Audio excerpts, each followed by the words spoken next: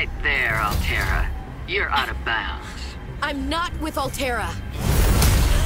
Then your position is doubly precarious. What do you mean? If you're telling the truth, you're out of your mind. If you're lying, there'll be hell to pay. Wait! Who are you? Stay off my land.